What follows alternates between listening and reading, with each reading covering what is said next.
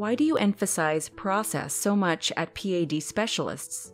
Isn't patient care the priority? Great question, and this is my answer is going to be similar to another video I did uh, defining patient care.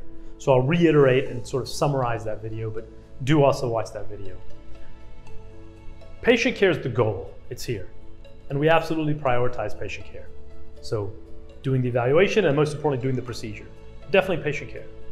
However, a goal without steps to get to that goal is not worth that much.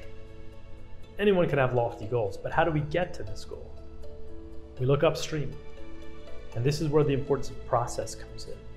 What are our processes to educate the community out there, to raise awareness of PAD, to teach providers to look for wounds and or leg pain to send to us?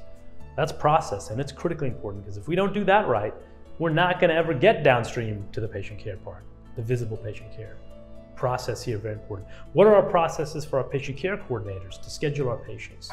For insurance verifiers to verify their insurance? The process is here critically important because without that right, we're never going to get downstream to the visible patient care of doing procedures. So you have the goal of patient care, but you have all these steps and processes within them and connecting them to get to this point of patient care. Any one of these done suboptimally or done wrong, and the whole process fails, and we never get to this patient care goal. So I'm on board with prioritizing patient care. My, my, my issue is, I hear this a lot in healthcare. You hear legacy healthcare providers like hospitals and things saying prioritize patient care. But if you peel the curtain back, you'll see that a lot of processes are in disarray or they don't exist.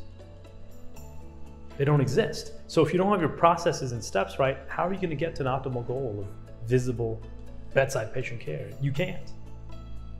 So for that reason, we at PAD specialists, we acknowledge patient care is priority, but patient care doesn't exist in a vacuum. There's steps, lots of steps and processes upstream from that, and lots of steps and processes downstream from that. A lot of which don't seem like quote unquote traditional patient care, but they're all intertwined. So we treat our organization like a real business. We respect it like a business precision with processes, optimi optimization of steps, elimination of waste, optimization and maximization of speed, learning from our mistakes and applying those to subsequent iterations. All of this is critically important. If you want an optimized healthcare business, you have to run it like a business. You have to run it like other industries do, like Henry Ford's motor company, like a Toyota lean manufacturing, like Tesla, like SpaceX. Patients aren't any less important than cars or space rockets. They're arguably more important. So why wouldn't we have the same degree of precision and attention to detail on how the business is run, the operations, the processes? Why wouldn't we have the same for healthcare that we do for rocket ships and electric cars? My answer, we should, and we at PAD, PAD specialists do. That's where we're able to provide the best PAD care possible at the fastest speed at the lowest cost.